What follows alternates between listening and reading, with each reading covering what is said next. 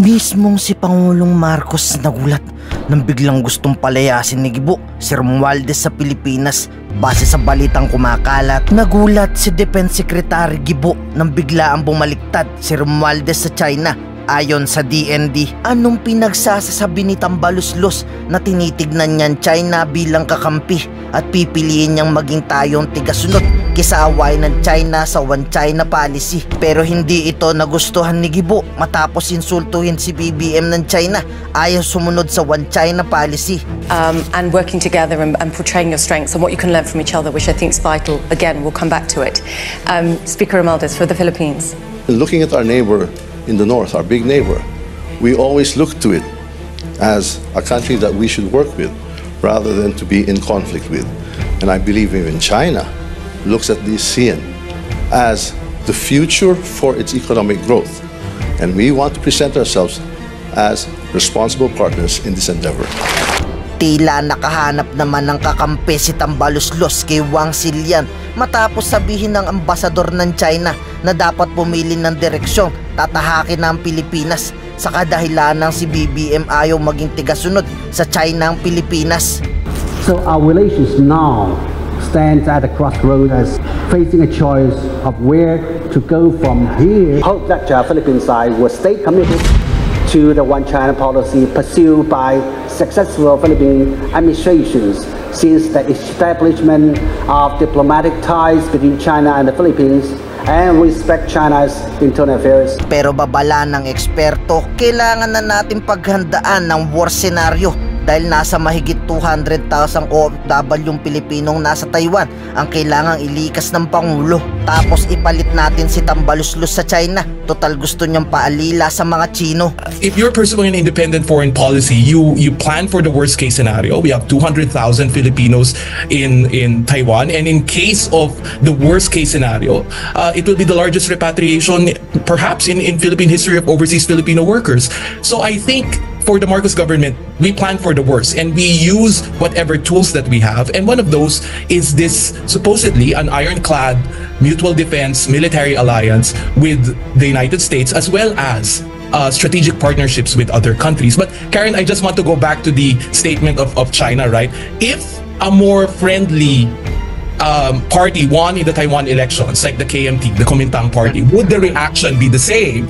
I mean, at the end, I think it's because China, Beijing didn't like the results because the Taiwanese people sided with the incumbent, the Democratic Progressive Party, who has a stronger stance against Beijing and against China. So if President Marcos congratulated other the other candidates who are friendlier to China, my count, my hypo, the hypothetical would be, would the reaction be the same?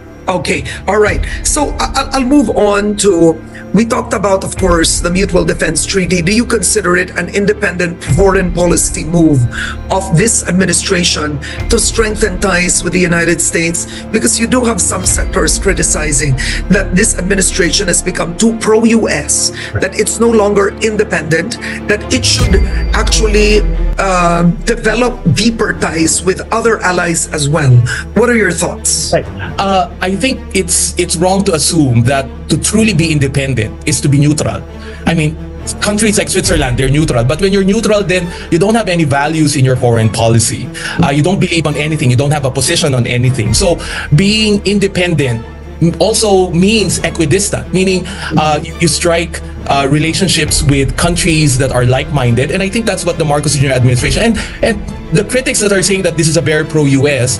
Uh, let us remember the Philippines has a status of visiting forces agreement with Australia. It has a comprehensive strategic partnership uh, with, with Australia itself. It is moving towards a similar endeavor with Japan.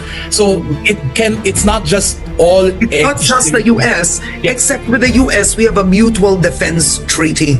Right. I mean, that is uh, that is the oldest uh, uh, military and, and the sole military alliance of the Philippines. This is what makes us different from other ASEAN countries. We're the only country in Southeast Asia that has a mutual defense treaty. So to be truly distant with the U.S., it will be harder for us. I mean, because uh, given this alliance and this mutual defense commitment, uh, our security policy will always be aligned with, Oh. with the United States.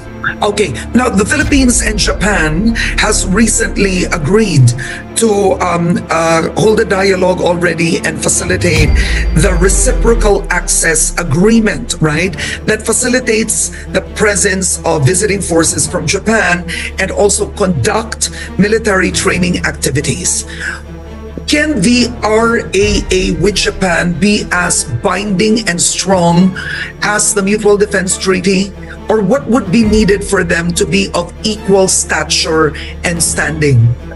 The, the equal stature might be a challenge because in terms of military capabilities and force deployment, uh, the U.S. Uh, is, is, in a level way higher than that of Japan. And and let us remember Japan's uh, Pacific Constitution only limits the Japanese armed forces to self-defense. But that idea under for former Prime Minister Abe has already enlarged to a regional notion of self-defense. And this is why Japan has been reaching out to, to neighbors, regional neighbors. I think this will be very important if not, we have always been seen as the test case in Southeast Asia of Japan's security uh, cooperation. So we're the first country to receive uh, a security cooperation. We're, we're going to be the first country to receive official security assistance from Japan. So I think Japan wants to also show the region that it's serious. Uh, uh and one way to show that is that if it develops deeper uh, relationship with the Philippines as the test case, and then it will go to other countries. Okay, all right. So moving forward, uh, anything you'd want to add? Of course, the Chinese envoy has, I think, called on the Philippine ambassador regarding the congratulations issue. Moving right. forward from this, I think in the end, uh, the for us Filipinos, we must always ask: uh, Is China treating us uh, with respect? Because I think that is critical in any change in Philippine-China relations. Uh, this notion that, oh, we must negotiate because China is a strong power doesn't speak well of our identity as a, as, as, as a proud republic. I mean, at the end, if China continues to bully us this way, then uh, we must just we must need to do what we need to do in order to safeguard our national security and the welfare of our overseas Filipinos uh, in, in Taiwan. And at the end, I think a truly independent foreign policy of the Philippines means that it doesn't really need to think about how China will react to anything that it does.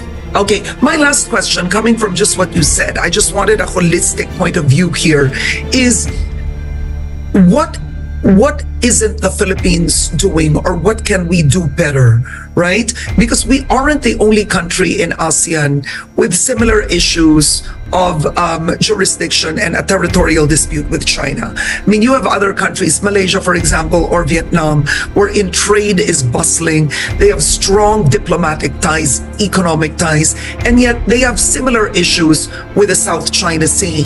But of course, the Philippines, I would say geographically speaking, um, none of them have our issues, right? That's what they said. We're just way too central in our location that the interests of China really is in our zone. But I've spoken with foreign experts who've said Malaysia was able to do it, Vietnam was able to do it. What aren't we doing at one point during the late president Ninoy Aquino's time? Noynoy Aquino, he said a gray ship, right? He said a gray ship to Scarborough Shoal. China sent more and then we backed down. Then there were bilateral talks with former Senator Antonio Trillanes that was supposed to be good. There's multilateral, bilateral. My point is, where are we lacking here? Why did it come to this? Right. I think of all Southeast Asian countries, Karen, we're the only country that has basically done everything in the entire spectrum. On the one hand, we've become very accommodationist, even very friendly under the previous administration. On the other hand, we're the only country that took China to court. And in between those two extremes, we've basically done everything. So, uh, but for me, I think the key is policy consistency. I think the advantage of our neighbors in Malaysia and even Vietnam is that uh, they they they see a relationship in China not just in six-year cycles, mm-hmm. but in long-term cycles. Meaning there is an end game. So, for example, this transparency approach, I would say, because it's not even official policy in the West Philippine Sea. My question is, where's it going? Uh, what's the end game here? I mean, yes, we've exposed, we've, we've named and shamed uh, China on this, but at the end, where is it going and what else needs to be done? How do we talk to other uh, uh, south china sea claimants? How do we talk to other countries uh, with regard to the south china sea issue? So i think uh, we in terms of homework, uh, there needs to be more internal consistency and coherence from the entirety of government in, in showing China that uh, the Philippines speaks with one voice and one set of permanent national security interests. Ngayon, ikaw, bilang Pilipino, ano ang masasabi mo at reaksyon sa balitang ito? Mag-iwang ka ng komento sa ibaba at atin pong babasahin isa-isa.